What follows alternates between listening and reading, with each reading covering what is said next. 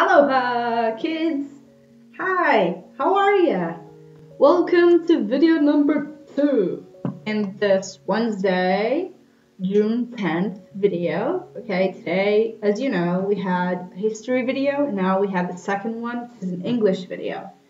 And the reason why I'm telling you this is because we only have a couple of videos today. You and I, we have two videos. I showed you a history video, and here I am switching off to English. Okay, so we're doing some English. Why? Well, because the first thing that we're going to do in English is spelling review. So that's what we're going to do right now. Now, just as a reminder, we have this video is divided into two parts, okay? First, we have spelling, and then we're going to switch it off to something else, okay? Um, before I go deeper into that, I also want to remind you something else. The reason why we have less videos with me is because we're incorporating a brand new video, which is after this. Okay, the third video today is your Spanish class with Miss Kim. Okay, now if you have any questions about that video, I put in the email a link to Miss Kim's email. If you didn't understand something, talk directly to Miss Kim. If you want me to help you, I can also help you out. If you contact me, Miss, I don't know how to write an email to Miss Kim, and I'll help you and I'll tell you how. Okay? Alright, so what do you need today? Well, you need a piece of paper, or in essence, your notebook. Does everybody have a notebook? I'm going to get mine.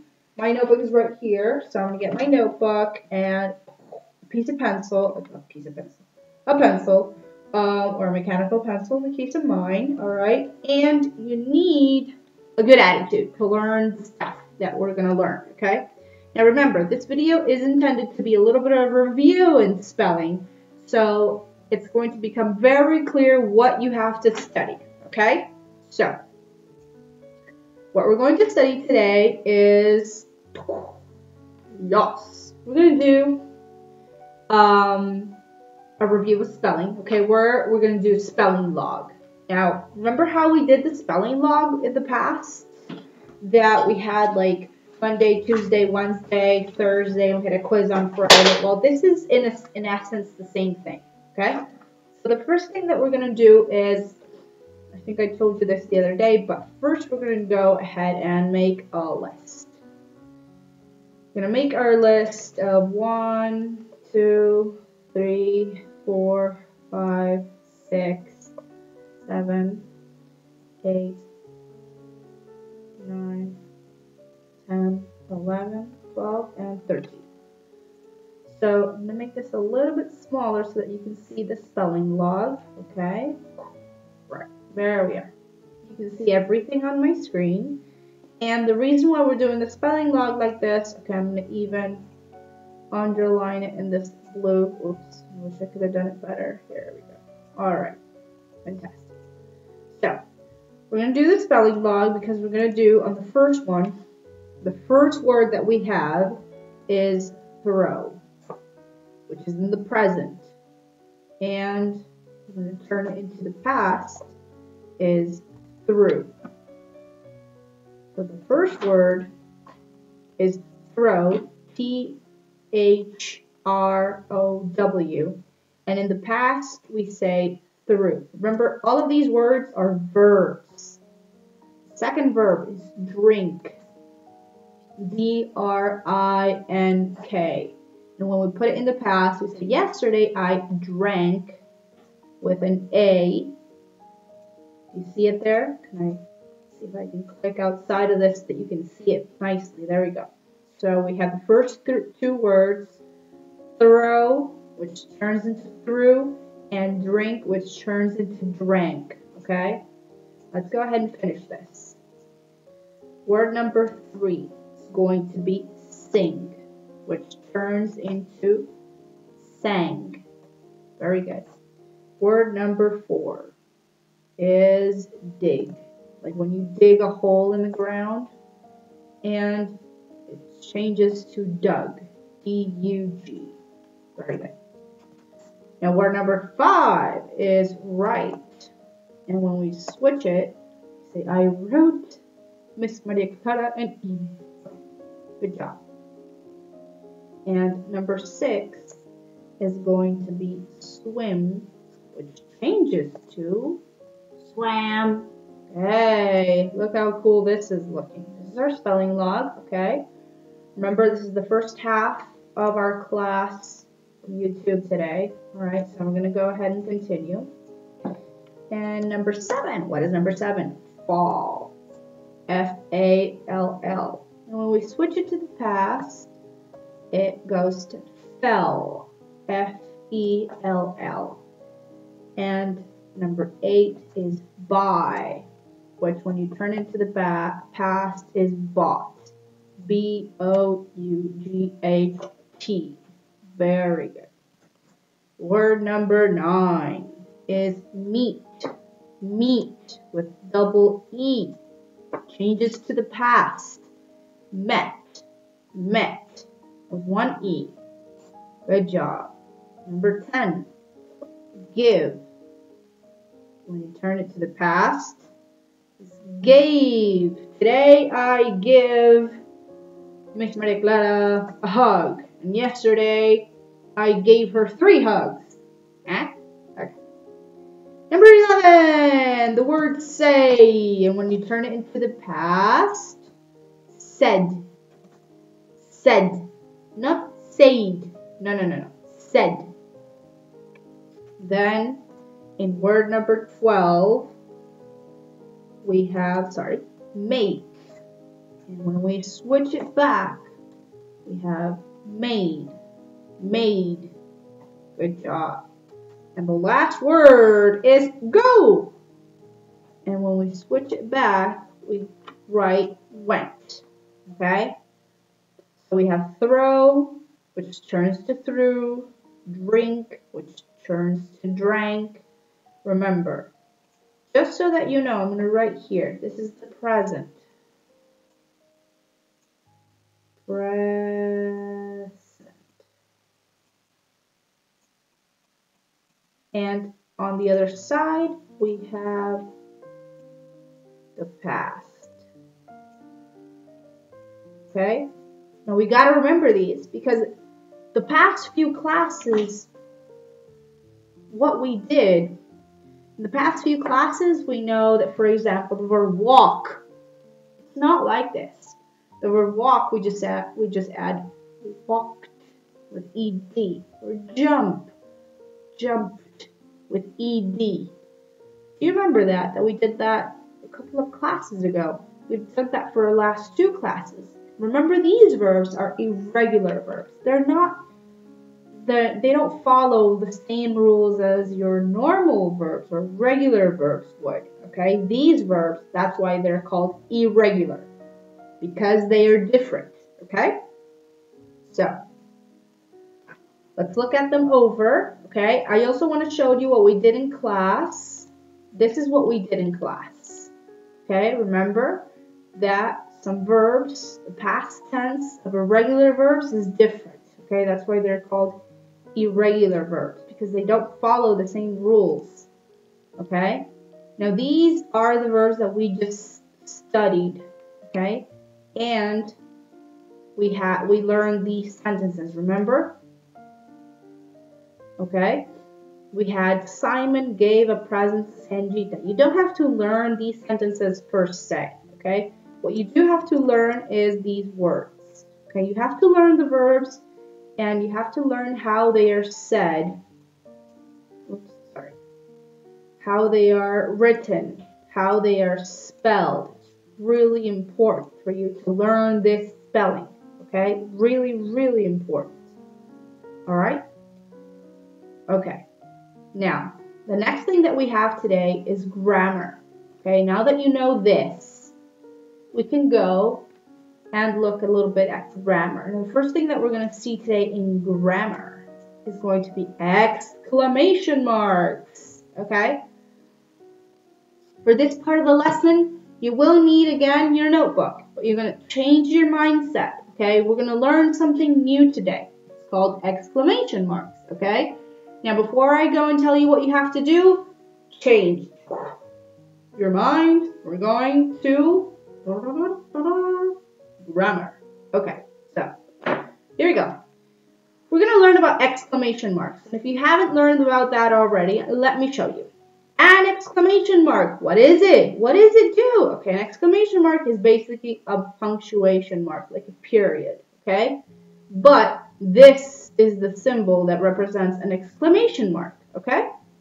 An exclamation mark comes at the end of a sentence, okay?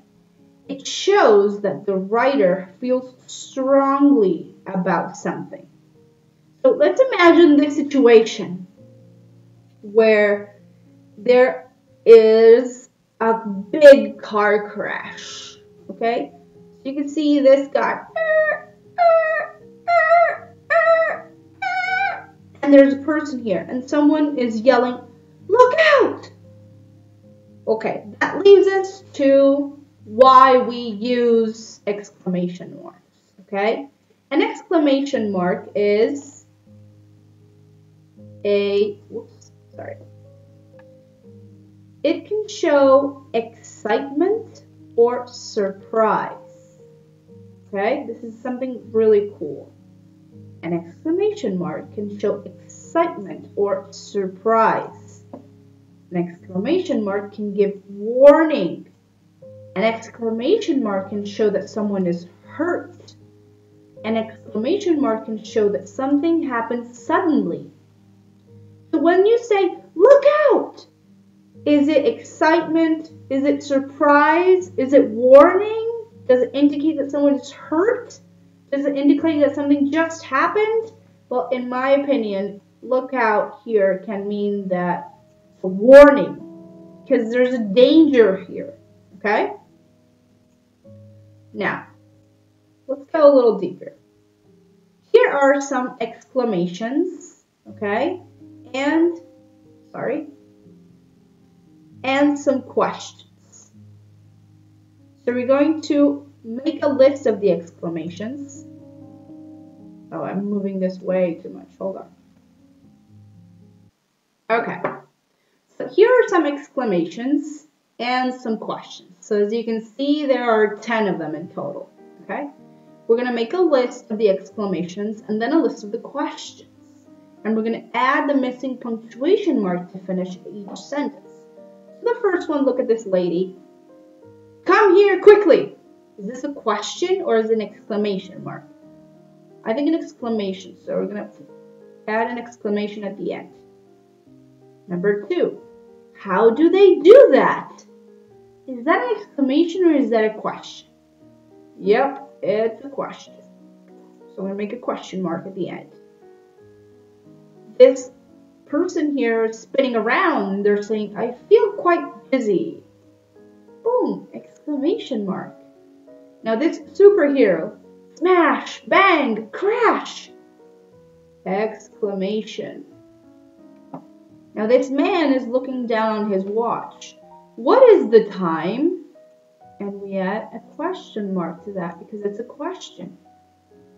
Now this person is asking, where are you going? This is another question. Then this guy seems to be a fireman. Look what I've found! Exclamation mark. Help! I'm stuck! Now this one has two exclamation marks. Help is one thing. I'm stuck is another. Okay? You can also say help, I'm stuck and leave it at the end. It's just easier. Now this nurse here is asking, why are you so sad? With a question mark. And this dog who's walking in the rain, he looks a little bit like Lucky. Lucky doesn't really like the rain a lot either. So he's sort of like, oh, when can we go home? He's asking this question. Oh, when can we go home? He wants to be out of the rain, right? Okay. So what are you going to do? You're going to copy these questions and exclamations with the appropriate exclamation mark or question mark, okay? Okay, so I'll leave that there for you to see so that you can pause this video while you copy. Okay, and then I'm going to continue moving forward with the next exercise that we're going to do. Move down here and say that now try these. Now we have a series of images in this situation.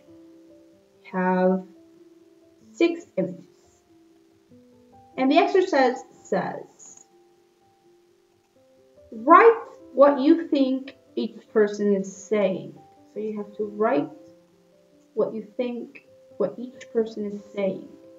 Remember to finish each sentence with an exclamation mark.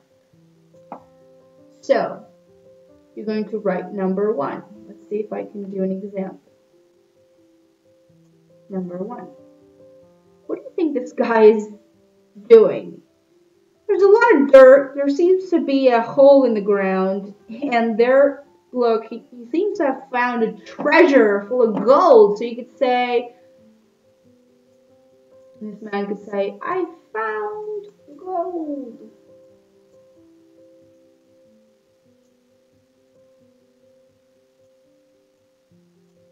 For example. And you finish it with an exclamation mark. Or he could say, I'm rich.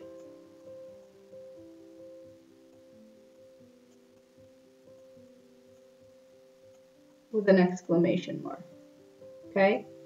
So you do this in your notebook. You don't have to use the same phrase that I'm using. You could create one of your own. You have to do number two, number three, number four, number five, number six. I already helped you with number one. If you want to do a different sentence for number one, that's okay too. You can change it. It's fine. And last but not least, we're going to go and you're going to practice your punctuation. Now this is really important, really, really important. Why? Because all of these sentences have problems. None of them begin with a capital letter. Now that is a big problem. And I don't know if the sentences should end in a period or a full stop. I don't know if they should end in a question mark.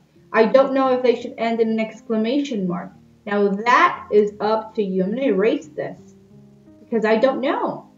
You have to do it, and you have to show me tomorrow, Thursday, June 11th, in our Zoom class. Remember that it starts a little bit later at 10:40 until 12:35. We have class Thursday, tomorrow, and after tomorrow on Friday.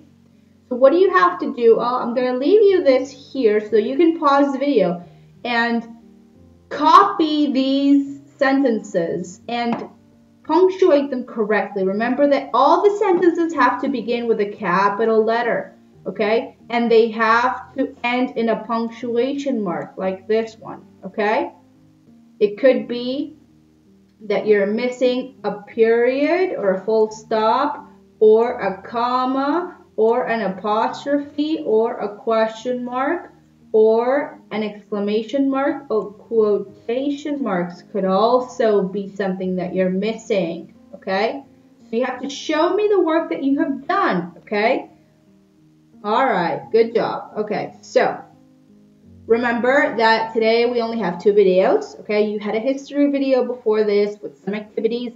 This is the second video where we reviewed the spelling list that's going to be uh, for the quiz on Friday. And we have uh, this grammar activity that you're going to show me tomorrow. Okay, so tomorrow I'm going to ask hey, did you guys do your grammar and spelling? Okay, so you're going to show me your note. You say, yeah, yes, I did it here. Here it is. And you can show me all the work that you have done today. Okay, so that's it for today with me. Remember, you have another video uh, pending with Miss Kim with Spanish class. Okay, so yes, you need to do it. No, it's not optional. Then at 2.10 you have Zoom class with Miss Andrea for PE. That's right. Totally correct. Okay? So I'll see you tomorrow, kids. Have a great day. Bye-bye.